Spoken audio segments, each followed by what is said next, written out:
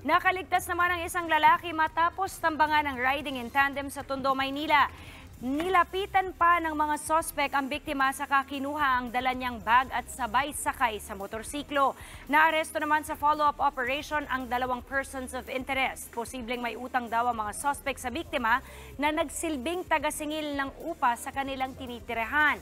Nakuha na ng shabu at drug paraphernalia ang dalawa. Aminado sila na nagdodroga pero hindi raw sila ang bumaril sa biktima. Naharap ang dalawa sa patong-patong na kaso.